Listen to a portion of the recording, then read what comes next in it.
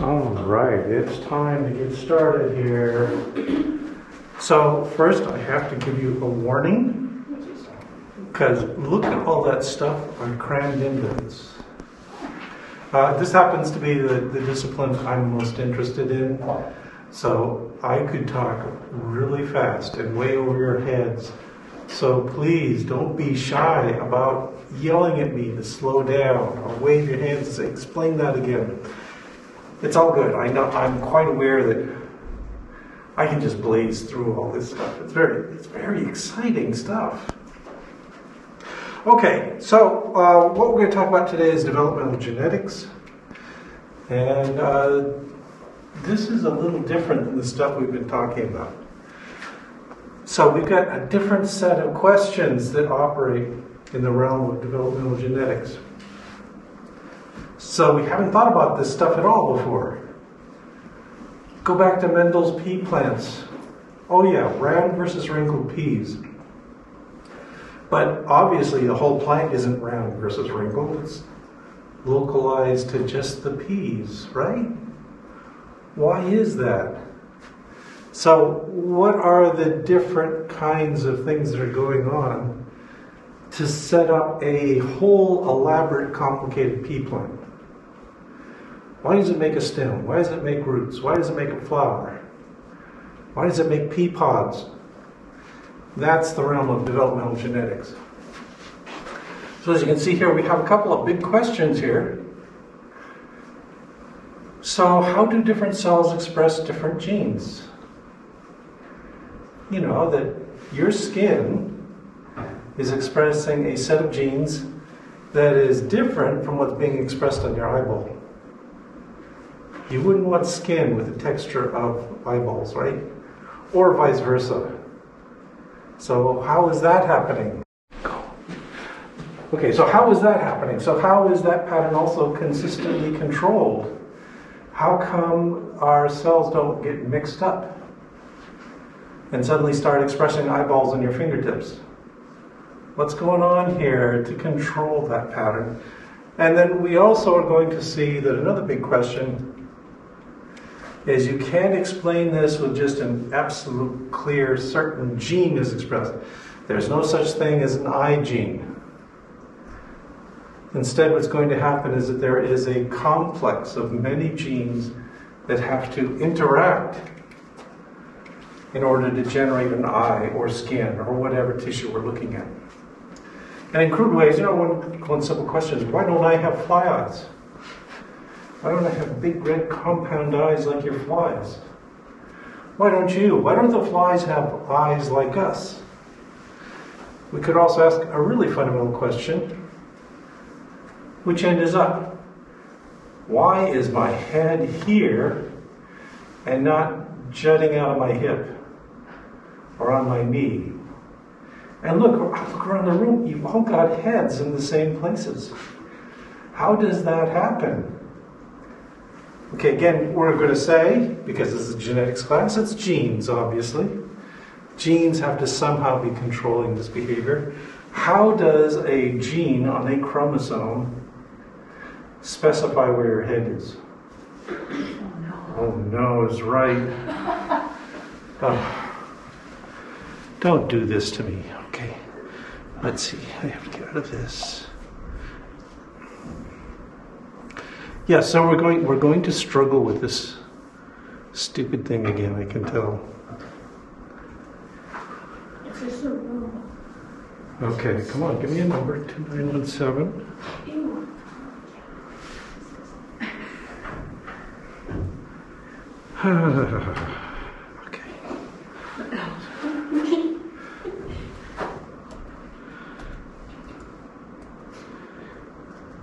Maybe it's a Wednesday thing. Nothing likes to work on Wednesdays.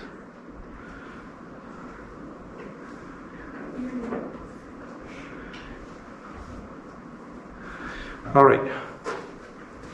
So we want to know how we control these things. How are they consistently specified so that every human being in this room has a head in the right place has two eyes and two ears, etc.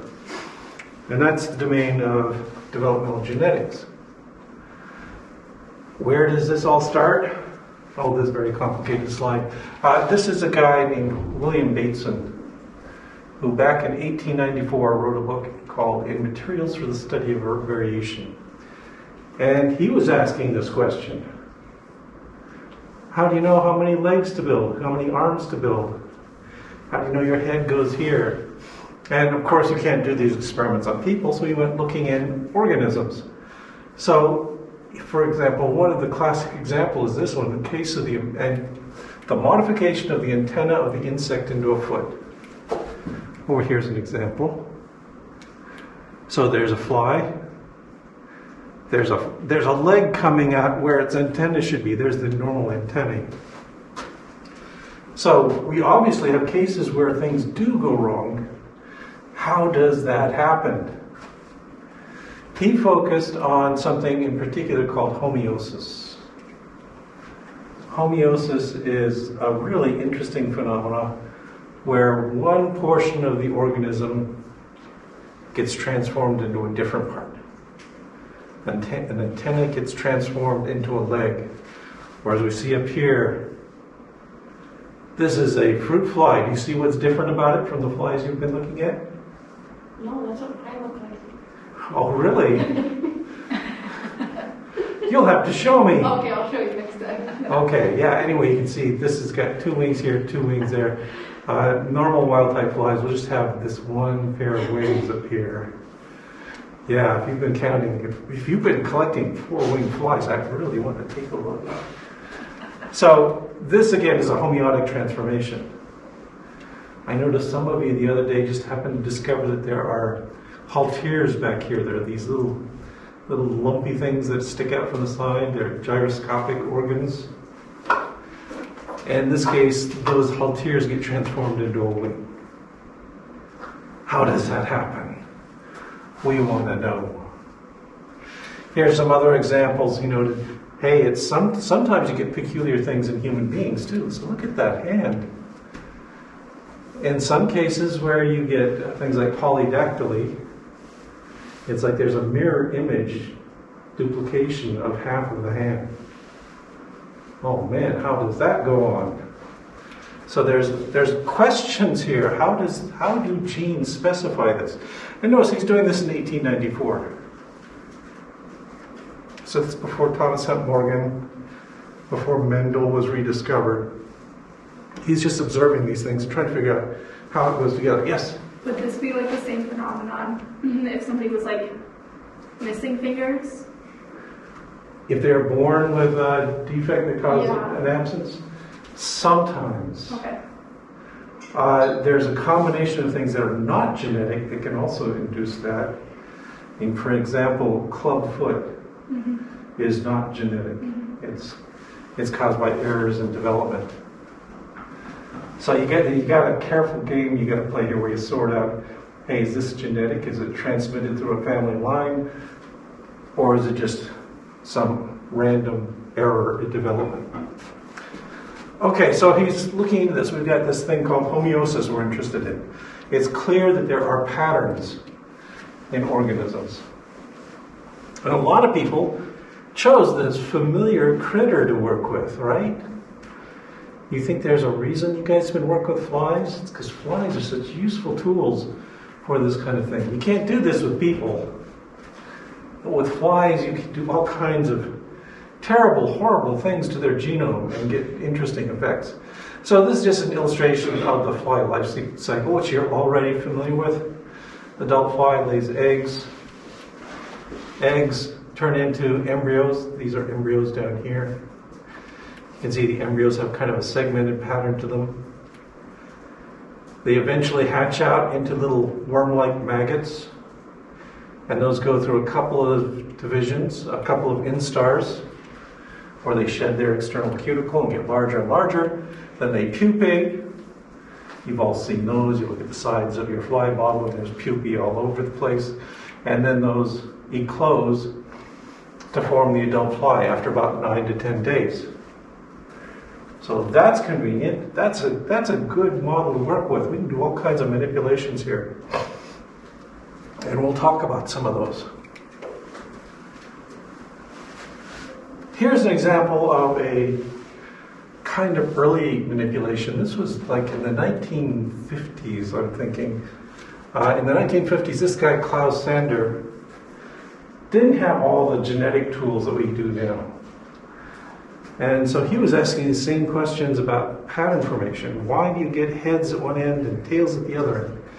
And he was working with two organisms. He worked with Drosophila, also this one called Euscelis, which is the leafhopper.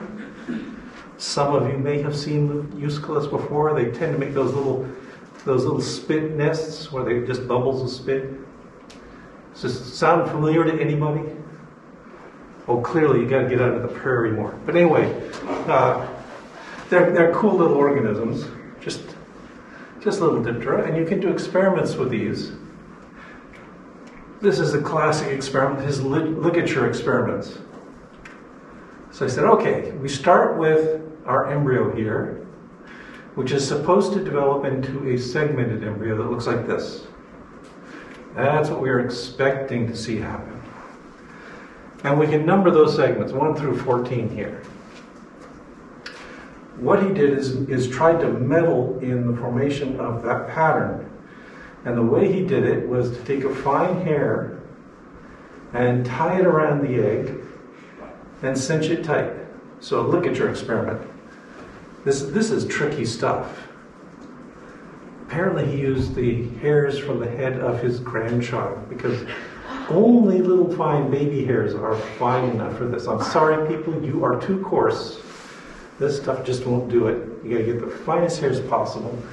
And you tie it around the egg. For instance, here he's tying it at stage five in development. So, not the earliest stage, we let it develop just a little bit, then we tie off this piece, and we ask what happens in the embryo as it develops. And what's shown here is just the numbers of the segments developed. So it makes segments 1 through 6 in the front part, makes 13 through 14 back here. There's a gap. Where is segment 7 through 12? They don't form. So apparently tying a knot around the middle of the fly's body interferes with the development of this middle, this middle range of segments. What gets interesting though is okay, you go, you let it develop a little longer before you tie it off. So you just let it grow a little longer and then you tie it off. So go from here to there, tie it off at stage five. And you look and you get, in the front part, you get segments 1 through 9, and then 10 through 14. Everything develops just fine. What's going on? The idea was maybe there's a diffusible molecule. Maybe there's something that's spreading through the animal. If it's got a really low concentration, like at the back end, uh, you make the back end segments.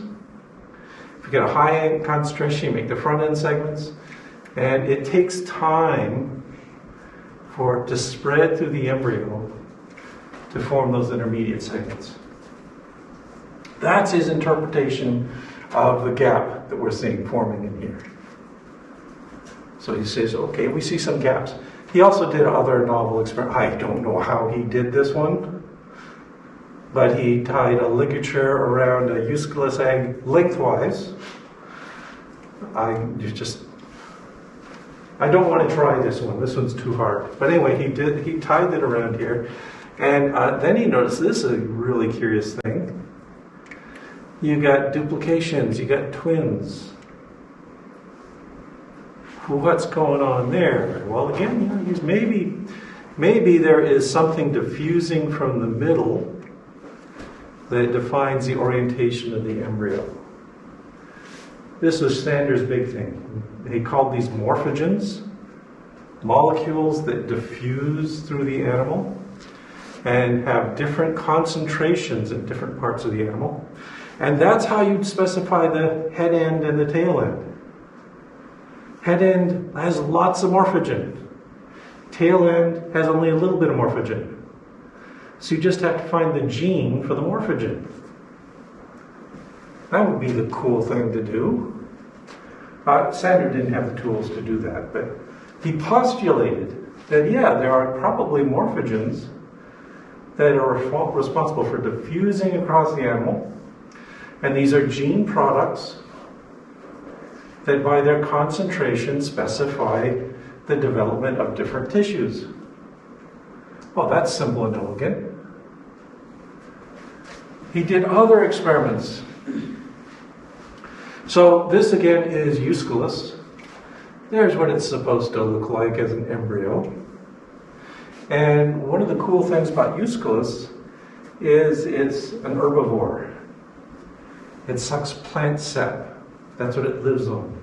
Is biting into plants, sucking out the goo, and digesting that. And as you probably know, that's really hard for most animals to do. Yeah, we don't have the enzymes to break down cellulose, things like that.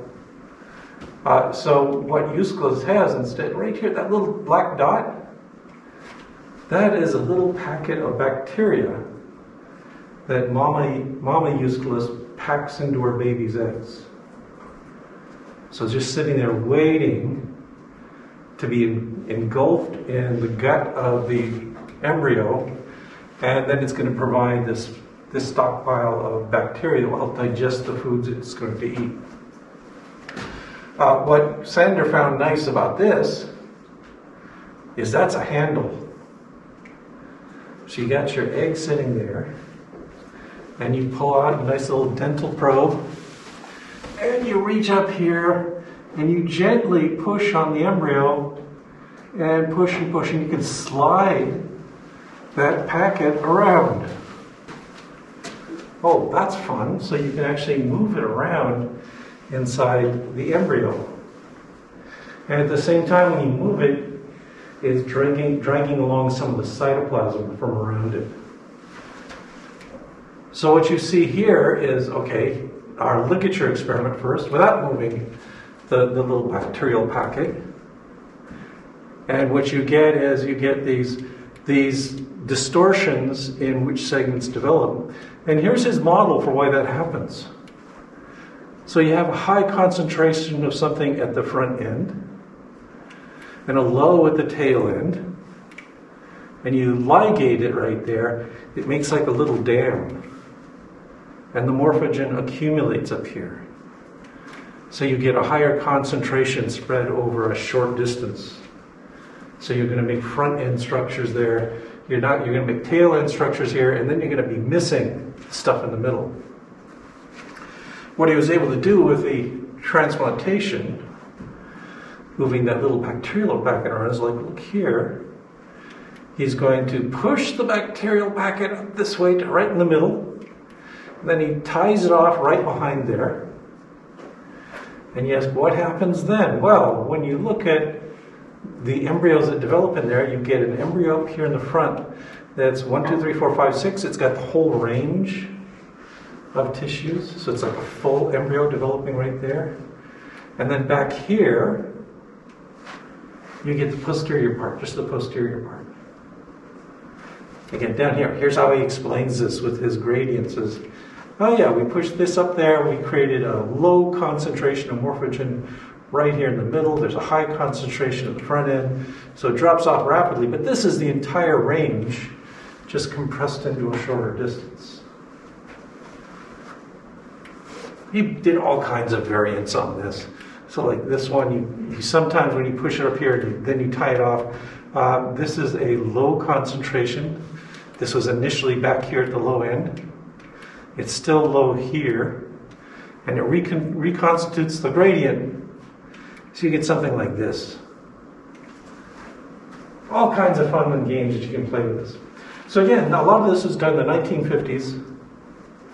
So we had this extensive literature that said, hey, we think there are, there's a gradient here. We think there's some substance called that we're calling a morphogen that is responsible for diffusion in producing this range of phenotypes across the length of the animal, but he didn't know what it was. Didn't quite have the tools yet to do that. So we're going to have to do some other experiments to figure this out. And it's going to be work of these three people Ed Lewis, Christiana Nusslein-Volhard, and Eric Wieschaus. Uh, Ed Lewis Ed Lewis did a lot of the earlier work. He was working primarily in the 60s, but he lived a long time. He did a lot of other work. Uh, and what he was looking at are those homeotic mutations. So he was looking at things like four winged fruit flies and doing crosses to try and puzzle out what was what, what kind of genes are involved in this, identifying potential genes that are responsible for specifying, hey, you've got a front wing here and you've got a haltere here, but sometimes you can transform it into a hind wing. So a lot of classic genetics done by this guy. These two, Janni Nusslein Volhard and Eric Wieschaus, were partners in a massive research project. Really massive. This was in the 1980s. And I'll just tell you, I, I was a graduate student in the 1980s. And I heard about this experiment and read about, read about it while it was in progress. And I was sitting there in my little lab feeling incredibly inadequate because this was a daunting experiment they did just I could not imagine doing this. I thought, is this what I have to do to get a PhD? Because it was an insane amount of work. So what were they doing? Well, let's talk about their experiment. Uh, what they did was it was called a saturation mutagenesis experiment.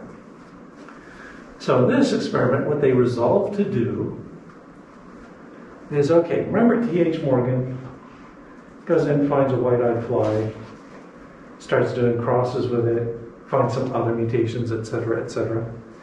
In this saturation mutagenesis experiment, Nusslein, Volhard, and Wieschaus said instead, our goal is to induce a mutation with X-rays and with chemical mutagens in every single gene in the fly. That's what's called saturation mutagenesis. Our goal is just to zap every single gene and see what the outcome was. As you can see, this is a fairly complex experiment. I've, been thinking for a long time, maybe we should try something similar to this in genetics. Uh, what this is, is their apparatus, where you get a bunch of test tubes, and you put the flies you want to cross in there. Again, this sounds familiar, right? I'm just going to take a couple of flies, throw them in a bottle and cross them. In this case, it's a test tube. And we take a whole bunch of these test tubes and we tie them together with rubber bands. And we put the open mouth of the test tube over a petri plate, which contains agar. It's a special agar. It's a yeasted apple juice agar plate. It's got apple juice mixed into the agar. I've worked with it before. It's messy. It's it, if you think you get mold in your in your bottles right now, imagine apple juice spread out. Anyway, you got to work fast. You got to throw in some some chemical fungicides in there and things like this. But then look how nice this is. At the mouth of every single one of these test tubes, there's a nice little collection of eggs that are laid that can then be hatched out. So you can look at lots and lots and lots of flies. Okay, this is preliminary results of that screen. Again, it was in the uh, 1980s. They have since gone way beyond this. Uh, they, they identified 139 genes with the first phase, but clearly there's many more genes than that in the flies. And I think there was a recent paper where they had screened a million flies. You can see why I say I was intimidated by this. Imagine if it came to my genetics class and I said, okay, we're going to count a million flies this semester. Yeah, you would think spread it out over a couple years, but hey, you're smart. You could do it, right? No? No? Okay. Non-stop work is what it involved. So every day they were doing this. They were coming in every day, pulling off one of these petri dishes or a couple of these petri dishes with new flies in them and uh, studying their development, looking at the embryos and asking what was happening with the embryos. There's a couple of things they were trying to do here. Again, thinking back to Thomas Hunt Morgan, he's just looking at adults. He's got the easy thing, right? Got white eyes versus red eyes. Hey, that's easy to see. Uh, Nusslein, Volhard, and Wieschaus are looking at embryos. So these tiny little dots on the on the agar plate, and they're trying to look for little differences in embryonic development early on. As you can see here, they sent up about 27,000 lines of flies. They found 18,000 lethal mutations. They actually were looking for lethal mutation, mutations. Lethal mutations are great. They don't make it to adulthood, but you're looking at embryos. So you just look for things going wrong in embryos and ask, what happened there? So they found lots of lethal mutations. They found specific mutations causing embryonic lethality. So they're able to watch these embryos and they see over and over again it develops for a day or so and then poof, it's dead. And it seems to be similar causes each time. They also found mutations that caused embryonic phenotypes besides just dying. Okay, dying is interesting, but they also found changes in the phenotypes. And hey, you know what this word means complementation groups. They identified 139 complementation groups. So they've identified roughly 139 genes that are active in early development and that are important for the normal development of the fly.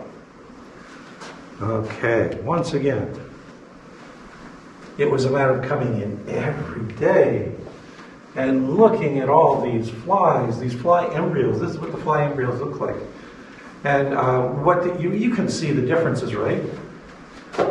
So some of these look, this looks fairly wild type down here, but it's got some things wrong with it. Look at these others.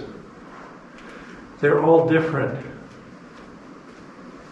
So what are you doing? You're screening for all these variations in early embryonic development, which in these cases are all going to die. But you still got you still got the parents in the test tube, right? So you can go back to those and work with those to try and tra- track back the gene and figure out what's going on. Okay, so yeah, again, this is why I was kind of intimidated you got to really know your flies. Got to be a master of fly embryology to be able to recognize what's going on with all of these variations. And they did. Okay, one of the early distinctions they were making is, again, we talked about this last time, right? Maternal mutations. So what we're looking at here is maternal mutants versus zygotic mutants. So maternal mutants are going to rely on the expression of specific genes in mom, but not necessarily in the embryo itself. And zygotic genes are expressed in the embryo. So those are mutations that the embryo carries that are expressed in its embryonic development and can disrupt that development.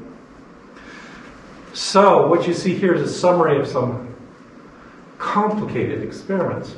So, uh, like it says here, we can distinguish all embryos from females that are homozygous mutant from maternally active genes. So here's our mother, and she's homozygous mutant for a gene that's important in early development. And we cross that to a wild type male. The wild type male cannot rescue it. All of the eggs produced are going to fail in early development. And that sort of makes sense. The mom could not put the necessary components in the developing embryos, so they just fail and die. So 100% death. Here over here we do a, a reversal of that experiment. Here's the, the father fly. He's the one that's mutant. Again, these are genes that are expressed only in early development. So you're going to have a homozygous adult, and they're fine, even though they lack this essential gene. Okay, so that's what's going on here. And we cross that to a wild type female, and we get 100% survival. Everyone's good. Of course, these are all heterozygotes for that particular trait, uh, but they survive just fine. because mom had the necessary genes to support the early development of the egg. That's different from the zygotic mutants. This, this is typical for a Mendelian cross, right? So you've got a heterozygote. So two heterozygotes, we cross those for, they're heterozygotes for a single locus. And what you expect to have happen is you get a three to one ratio, right? So there's a couple of heterozygotes, there's a wild type, here's our homozygotic mutant, and that dies. You get a three to one ratio in those cases. All makes perfect sense, right? Except you did one cross like this, and Janni Nüsslein-Volhard and uh, Eric Wieschaus did hundreds of thousands. Like I said, I think they're up to a million right now. I got out of the zebrafish game just in time because shortly after I graduated, Janni Nüsslein-Volhard came to visit the lab I was in in Oregon. And they have since done the same sort of saturation mutagenesis experiment in zebrafish. It's become a really common tool. Just get in there and zap everything and then sort through them, try and puzzle out what genes are affecting early development. One of the results of this saturation mutagenesis experiment is this. They identified a gene they called bicoid. This is a photograph of the early fly egg, and it's been stained, it's got an in situ stain for messenger RNA for bicoid, and there it is, it's localized to the front end. We talked about this last time, right? So we got this bicoid gene, it's expressed at the front end. Bicoid is essential for defining the anterior end of the fly. So that's one of the products. We'll talk about a couple of other products of this saturation mutagenesis screen in a moment. So, as I told you before, this is how bicoid works. You look in the ovarian follicle of the fly, and there are a bunch of nurse cells that are busy producing the bicoid RNA and pumping it into the egg, where it adheres to the front end of the egg. There are cytoplasmic proteins that localize it to that place. And then when it's laid as an egg, you find, okay, we got RNA right there. Uh, the animal is going to go through a series of cell divisions to form a blastoderm. That just means this is now multiple cells in here. And you find the bicoid RNA localized up there. So that's kind of essential, right? That's, that's our candidate for Sanders morphogen. Maybe this is the molecule Klaus Sander was playing with in all of his ligature experiments and his transplantation experiments, all this cool stuff that he was doing. But now we've, we've identified a specific gene that carries out this action. More games with Bicoid. We can do all kinds of fun things with Bicoid. So what you see here, uh, this little red line here, that marks something called the head fold. That when the fruit fly is developing, it's going to make all these little segmental bits like this. And the there's an anterior one that marks the position of the larval head. So this is this is all head up here. This is thorax and abdomen.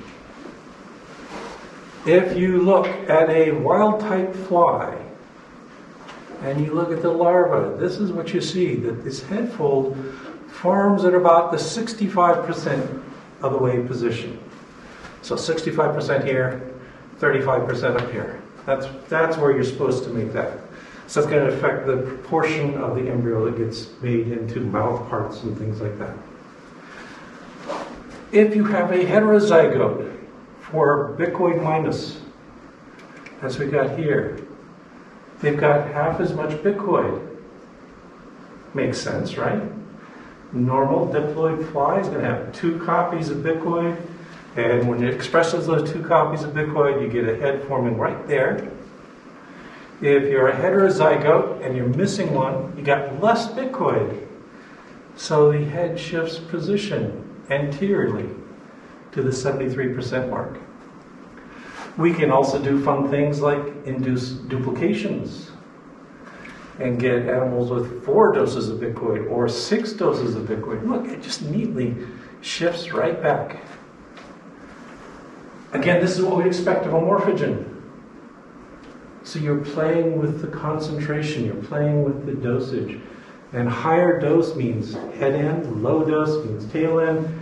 And here we genetically tweak that, and we can get more and more of the animal making the head. And you might say, well, did we get any big headed flies buzzing around out of this? And no, you don't. Because it regulates. What happens is, yeah, in the larva, it's going to contribute more to the anterior end of the larva, but then through larval development, and uh, it will shift again. And by the time we reach adulthood, we get back to a normal sized head. Too bad, huh? It'd be fun to play with that. Anyway, so we got this pattern that we can observe. Here's another thing we can do an experiment. So we've got our wild type larva right here, and our wild type em- embryo right here, and a donor. So we got our wild type larva. It's supposed to look like this. If you are, have bicoid minus, if you're mutant for both copies of bicoid, you look like this. And you can see, okay, there's kind of a mirror image here, isn't there? So this is the posterior part. There's posterior and posterior. Uh, this is the spiracle, which is in the posterior part. There's a spiracle and a spiracle. So we don't form a head. We form a fly with two butts. Okay, what we can do though is an experiment where we take a wild type embryo and we get a very fine pipette and we puncture, that wild type and slurp out some of the cytoplasm from up here. And then we inject it as close to the front end of a mutant animal as we can get. And we get partial rescue. So this should have become like that. Instead, we get partial rescue. It starts to form a head with those are mouth parts there. It's got some orientation. There's no spiracle here. It's not perfect, however, because it's really hard to get the dosage just right. You're taking, you're taking a random sample of bicoid plus cytoplasm from a wild type animal and putting it in the mutant. And you can never get it exactly this, the right amount with this kind of crude technique. But yeah, you do get a partial rescue. And of course, because scientists are scientists, you also got to do this experiment where you suck out some of that bicoid positive cytoplasm, and instead of trying to put it in the front end of the animal, you put it in the middle of the animal, right there. And what happens? Well, you get a, a fly larva that tries to develop a head right in the middle of its body. So it's got mouth parts there. And it's still got two butts. Yeah, so we can we can play all kinds of games there. But it is suggesting that hey, there is there is a gradient of a molecule, and that molecule is bicoid, that determines whether your front end is the front end or your, your tail end is the tail end.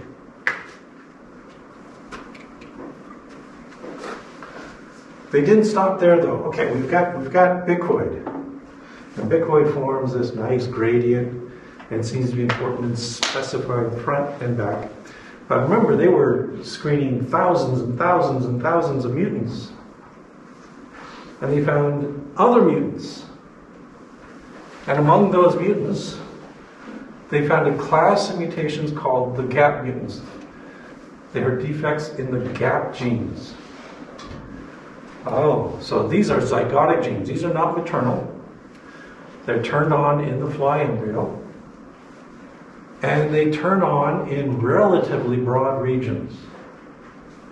You don't have anything quite as broad as bicoid, which is in a gradient from front to back. But for instance, here's giant. It's got two broad stripes. Here's Kruppel. It's got a large stripe in the middle. Here's Knirps. It's got a chunk in the front and another one in the middle. Here's tailless with a chunk in the back and another one sort of front middle. And together, when you look at all of these, you see they nicely bracket each other. So we're dividing our embryo into multiple components. We got hunchback, which is in the front, and looks a lot like bicoid, so it's covering the front half of the animal. Uh, and then we got things like uh, tailless, which has got a big chunk in the back. Also, this little piece right there is complicated. Or giant, which has two stripes. And between those, they specify the full range of information for the specifying length of the animal. It's not as simple as a gradient, is it? So now we got these gap genes, which basically specify chunks. They say, okay, this is this is your head, and this is your neck, and this is your chest, this is your abdomen. Kind of like that. So, and if you don't have these particular genes, you get a gap in the formation of the embryo. And this is actually a callback to Klaus Sander, who was talking about gaps with his ligation experiments. So we got these genes. So it's like there's a little hierarchy here. First, you got bicoid, which is maternal, and specifies the broadest possible definition. It says your front or your back. And then we got these gap genes that switch on after that. And they specify, hey, you're this you're this particular region along the length of the animal. So we're, we're gradually assembling all the information we need. Now we can do experiments here too. So what do we see here on the here on the left? This is bicoid expression, and we're doing the same thing I showed you earlier. So no bicoid or one dose or two doses, this is the wild type condition, or four or six. In addition, what we're going to do is throw in a reporter gene. So this is a reporter. It consists of a promoter up here and a TATA box. A lot of you are in molecular genetics or have taken or taken molecular biology, right? You know what this is. So it's, it's just a little short fragment that's got the the promoter for hunchback. So not the whole hunchback gene, just just the reporter, and we tie that to a LAC-Z marker, so we can stain that. We can we can stain and see wherever hunchback is supposed to be turned on. Okay, so that's what we're seeing over here on the right. So we're doing these different doses of bicoid, and then we look at where hunchback is expressed. If if it's bicoid negative, if there's no bicoid at all, hunchback doesn't turn on. Remember, hunchback is zygotic. So this is telling us that somehow bicoid is activating hunchback but only at the highest concentrations of bicoid. And then as we modify the concentration of bicoid, in each case, hunchback extends a little farther back, a little farther back, a little farther back. So this is telling us that there's an interaction going on here. Bicoid is in a nice gradient, and that gradient is responsible for switching on another gene a gap gene, in this case hunchback. Beginning to get an idea what the story is here, there's a whole series of genes that have to be turned on, and which ones are turned on specifies which region of the animal you're in.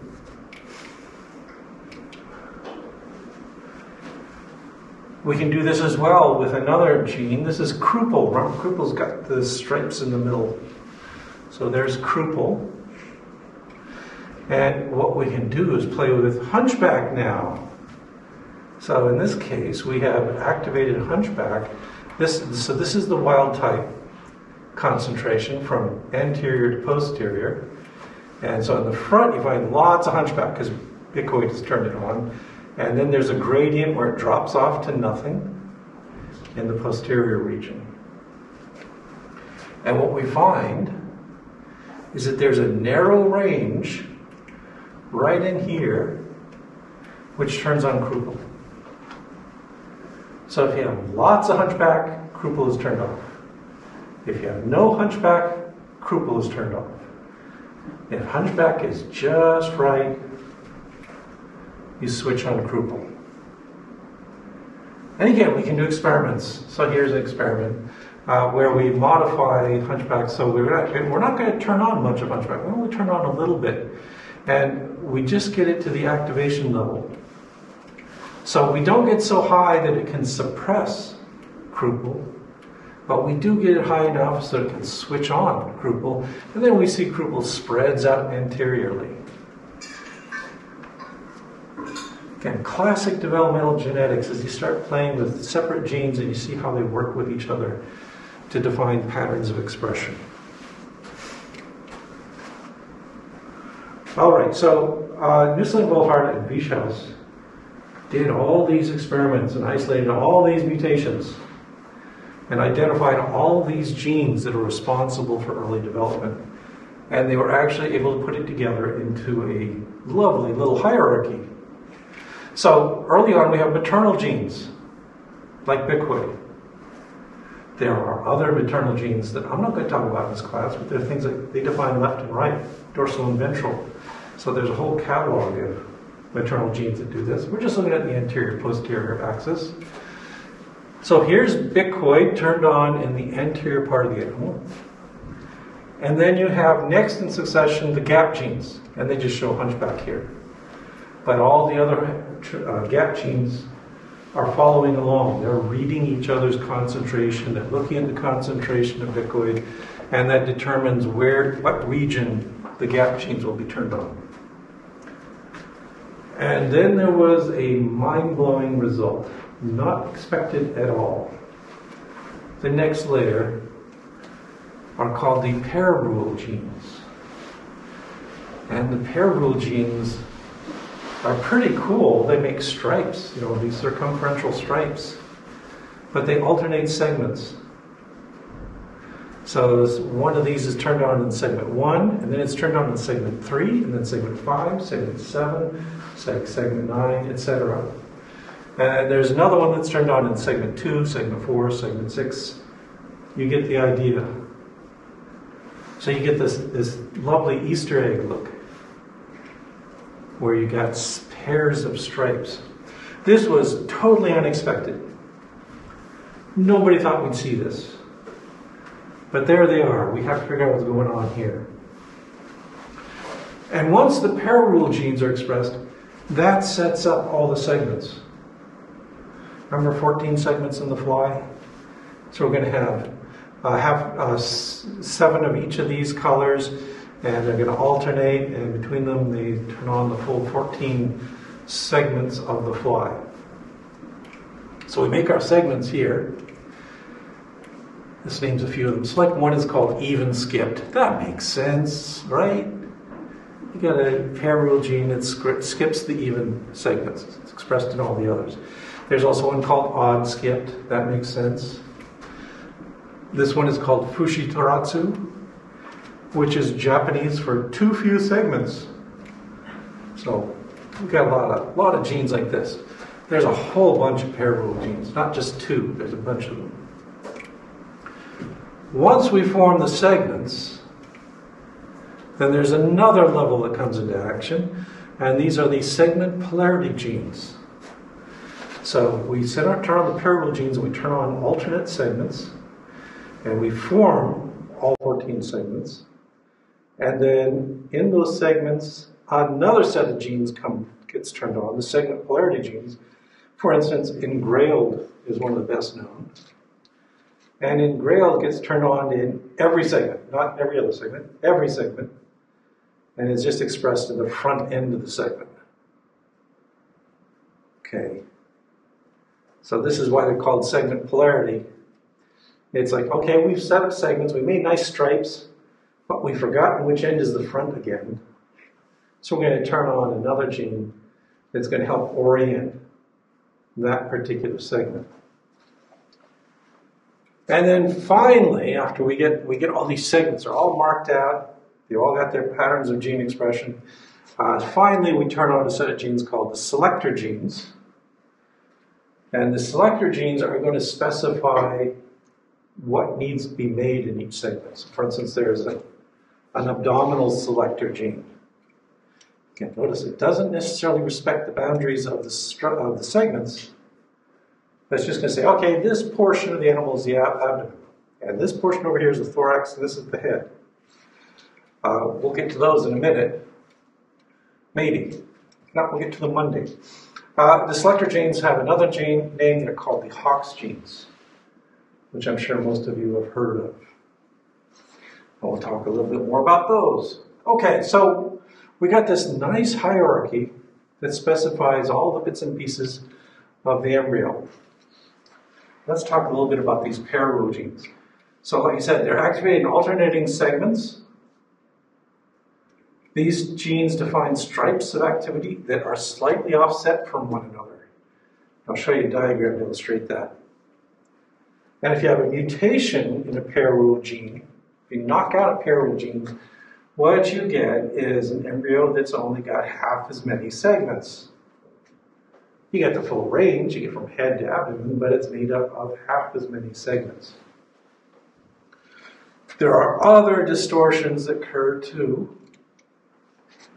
So here, for example, is a couple of these genes. So this is even skipped and Fushi Tarazu. And I think you can see some, there's blue and there's reddish brown staining.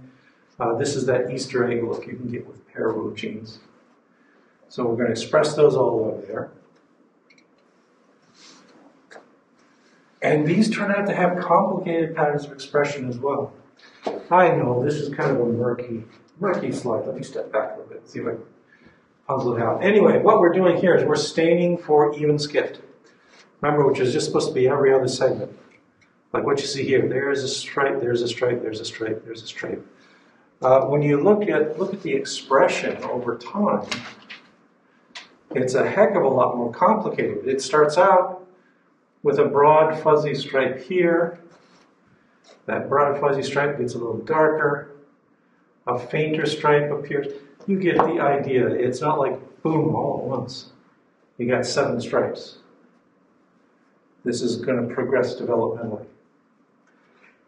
Why is it doing this? It's because these genes are all busy interacting with each other. That the final stripe pattern isn't established instantly, it's established by the genes all talking to one another to set up the pattern. So, here, for example, uh, this is a, another kind of experiment. They are once again doing that trick where you just pull up the promoter, attach it to a marker, and you can do things like then figure out which regions of the promoter do, which part of the pattern of expression. And what we're seeing here is that there's a region of the promoter for Eve that is specific for stripe 2. Remember there's seven stripes? Turns out that each of those stripes has its own little promoter region that controls how it's expressed. So there's Eve stripe 2. This is the normal pattern up here. So we see a high concentration of this Eve stripe 2 right here at the third pair segment. Don't worry about that. The segments versus parasegments get into advanced developmental biology and dressage, we can talk about that. We'll just ignore here to say that's a segment. Okay, so there's Eve stripe 2. It's turned on in segment 3. And then over here, this is giant. It's got this pattern of expression. And over here is hunchback. Looks like that. And there's Kruppel. And there's, there, of course, is also bicoid. So you look at this pattern of expression, Can you make any hypotheses about how stripe 2 is regulated? How do these other genes affect stripe 2?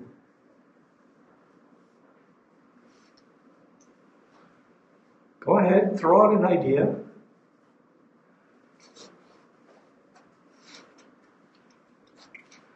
What do you think the effect of giant is on the Eve stripe?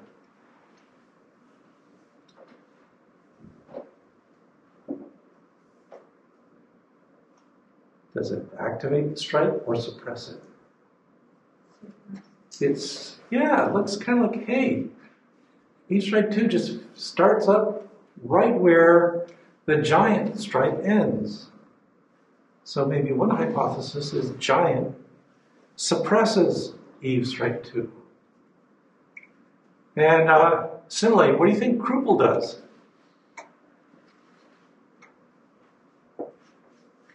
How does Kruppel affect the expression of Eve?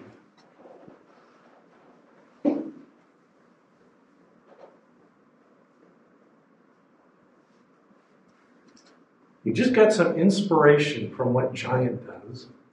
What do you think Kruppel does? Yeah. Isn't that cute how the Eve Stripe 2 just happens to appear in this little gap between Giant and Kruppel? And you might also further speculate that maybe, hey, maybe Hunchback turns on Eve Stripe 2, so it's right there. So that's how we get that stripe. Is all those earlier gap genes are interacting to specify it. So Hunchback says, make a stripe, just make a stripe anywhere in here. And then Giant and Kruppel fine tune it and say, no, this stripe is only going to be in this little gap right here, which is kind of a cute idea. Can you think of a way to test that hypothesis? You're working in a lab that's got thousands of mutants, but they've knocked out the various gap genes and the pair rule genes and all that kind of stuff. How do you think you can test that? Yeah. You would knock out giant and Kruppel and see if the Yeah. stripe is growing. So if we knock out giant, what would happen to the Eve stripe? I think it would stretch out this way towards, yeah. If we knocked out Kruppel, it would spread out that way. These are predictions for an experiment we could do in the lab. And they did them. Okay, first I'll just mention um, a little molecular biology for those of you in molecular biology. They have dissected these promoter regions and the uh, activator regions of, of these genes all up the wazoo, and they are complicated. So what you see here is we got Bicoid, which is activating here, and here's Hunchback. It's got an activator there. We got a giant Kruppel that are repressors that are scattered along here. It's it's a mess. But let's do the experiment you just suggested. Uh, what we're going to do first is we're going to we're going to build some some probes, some markers. So here, for instance, we find okay, there's a little piece of the promoter that we can pluck out and attach to lac Z, and we can see oh, that's that piece of the promoter turns it on in stripe one. Then we can pull off another one. Here's this one's for stripe six. There it is. Uh, here's one for stripe 7. We can essentially dissect the regulation of this gene to a fine degree of detail and ask where things are getting turned on. Okay. Then we can do the experiment. We've got markers for these things. And we are out of time. So let's resume here on Monday. And I you can, I think you can see just looking at this that the experiment works. And we'll talk more about that on Monday in a second, how these particular genes affect it. Okay, any questions? Everybody knows what they're doing in the lab, right? Just counting, counting, counting.